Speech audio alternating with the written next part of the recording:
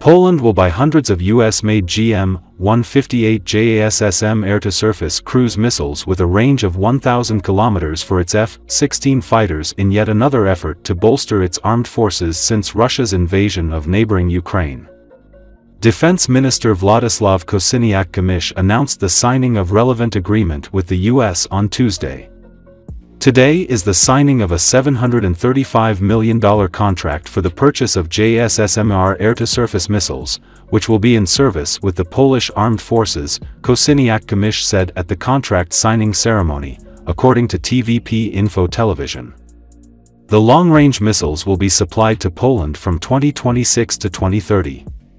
Poland signed a $735 million contract to acquire AGM-158B-2, AIM-120C-8 and AIM-9X missiles and related equipment when Polish President Andrzej Duda and Prime Minister Donald Tusk visited the U.S. on March 12.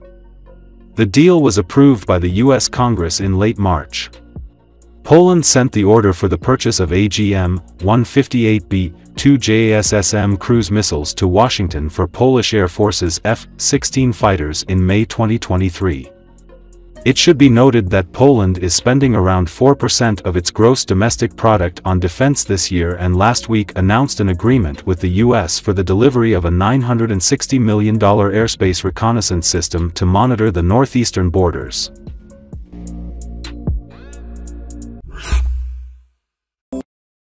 NATO is practicing nuclear strikes on Russia the FSB reported. NATO is practicing nuclear strikes on Russian territory near the border. Army General Vladimir Kulishov, first deputy director and head of the FSB Border Service of Russia, said in an interview with RIA Novosti on the occasion of Border Guard Day. Near the Russian border, NATO's reconnaissance activity is increasing. The intensity of operational combat training of the alliance's troops is increasing, during which scenarios for conducting combat operations against the Russian Federation are being worked out, including launching nuclear strikes on our territory, he said. As the agency's interlocutor noted, this situation requires taking adequate measures to protect and guard borders. NATO Secretary General Jens Stoltenberg said that Ukraine has the right to, among other things, attack military targets on Russian territory. He added that some allies have already lifted the corresponding restrictions on strikes and, in the opinion of the Secretary General of the North Atlantic Alliance, the time has come to lift other restrictions. Press Secretary of the Russian President Dmitry Peskov, in a conversation with Izvestia, noted that NATO is flirting with military rhetoric, increasing the degree of escalation and falling into military ecstasy. In turn, Foreign Minister Sergei Lavrov, commenting on Stoltenberg's statements, indicated that he had exceeded his authority. He noted that the Secretary General of the alliance has already been besieged by NATO members themselves. Recently, some NATO countries are increasingly talking about direct intervention in the Ukrainian conflict. Thus,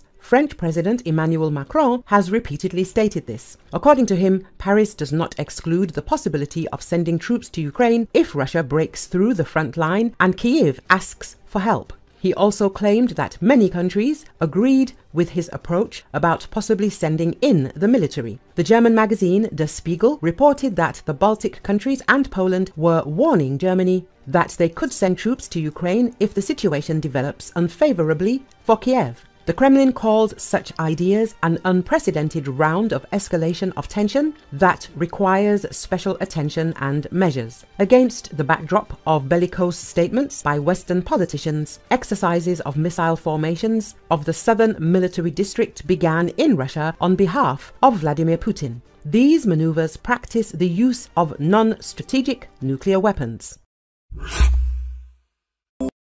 Summer could be catastrophic for Ukraine. The New Yorker explained why. The Russian army is advancing into Kharkiv, Ukraine's second largest city, as summer approaches, a move that underscores how the two year conflict has swung in Vladimir Putin's favor. At a minimum, this could force Ukraine to redirect its overstretched forces away from the Donbass where Russia is waging a long-term offensive operation. This is stated in an interview with Dara Massicot, a senior fellow in the Russia and Eurasia program at the Carnegie Endowment for International Peace For The New Yorker, the trend is bad for Ukrainian forces, and I think the situation will get worse before it gets better. The Russians are clearly giving priority to Donetsk in eastern Ukraine. They are putting a lot of effort on the ground with heavy use of glider bombs. This is very stressful for Ukrainian units there. The Ukrainians also have to divert units to strengthen them in the Kharkov area. So, although weapons are supplied to Ukraine under an additional bill, they do not arrive immediately and personnel issues remain unresolved in these units, the expert notes. According to her, Russia does not yet have enough strength to try to repeat the 2022 offensive.